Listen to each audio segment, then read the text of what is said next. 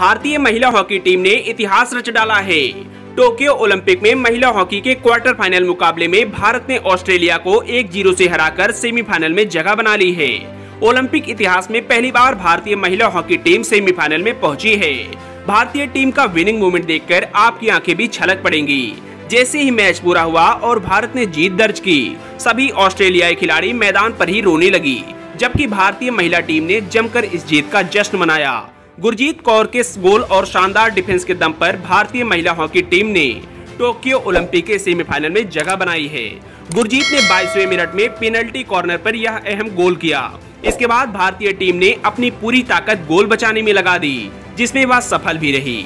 Goalkeeper Savita ने बेहतरीन खेल दिखाया और बाकी डिफेंडर्स ने भी उनका अच्छा साथ दिया। भारतीय टीम मास्को ओलंपिक 1980 में चौथे स्थान पर रही थी, लेकिन केवल छह टीमों ने हिस्सा लिया था और मैच राउंड रोबिन आधार पर खेले गए थे। भारतीय हॉकी टीम अपने पूल में दक्षिण अफ्रीका और आयरलैंड को हराकर चौथे स्थान पर रही थी, जबकि ऑस्ट्रेलियाई टीम अपने पूल में टॉप पर रही थी।